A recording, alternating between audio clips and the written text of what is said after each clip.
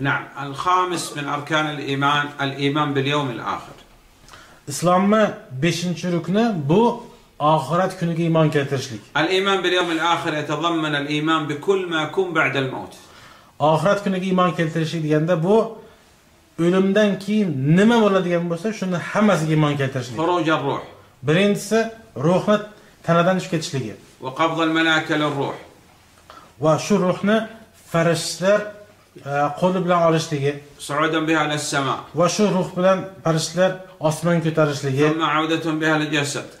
undan keyin jasadga ruhni qaytishi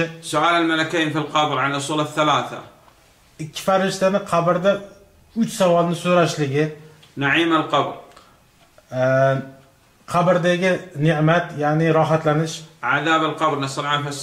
Alloh asrasin qabrdagi azob. Al-ba'th ba'da al-maut o'limdan keyin qayta tirilish.